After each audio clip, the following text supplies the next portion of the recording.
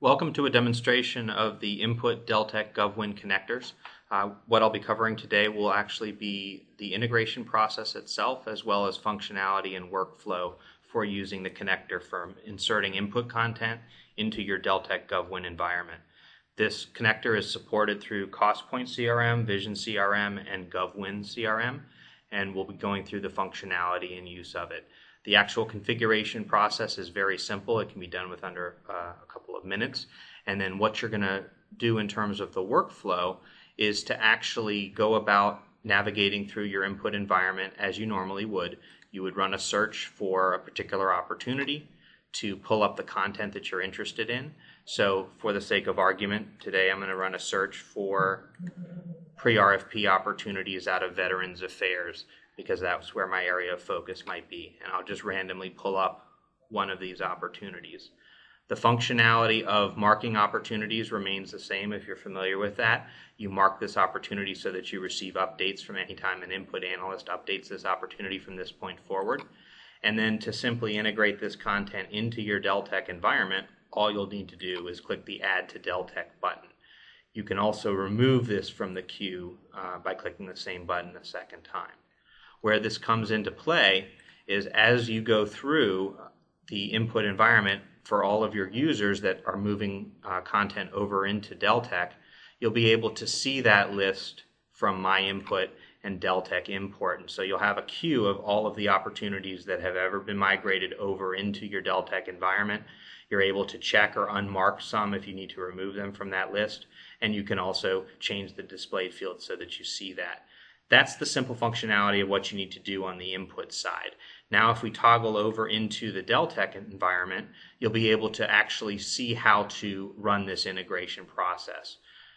The individuals that will be actually inserting opportunities will have rights to do so, and they'll be able to go into utilities, and under advanced utilities, they'll be able to click on input web service and basically run integration and you'll prompt yes or answer yes on the prompt that comes up, and you'll be able to then insert any of the changes that have gone since the last time a uh, integration has been done, and it'll date and timestamp that integration. So the one new record that I marked to add uh, to the list has been inserted, as well as the 23 updates from everything else that was in that queue.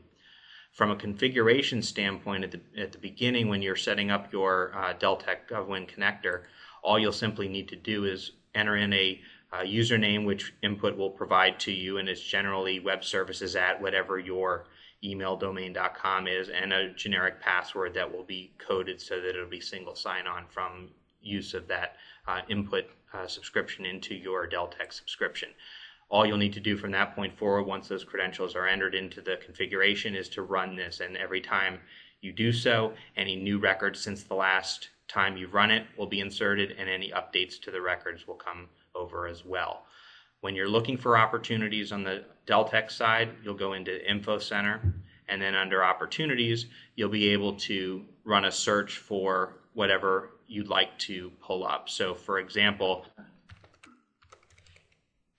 if you wanted to do a search for the opportunity that I just inserted, which was the, the commodity record, you can type that into the search box and you'll pull over the title of the opportunity.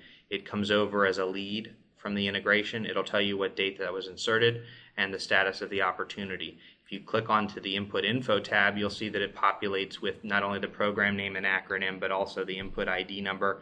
You're able to link back to input content directly from uh, this hyperlink here.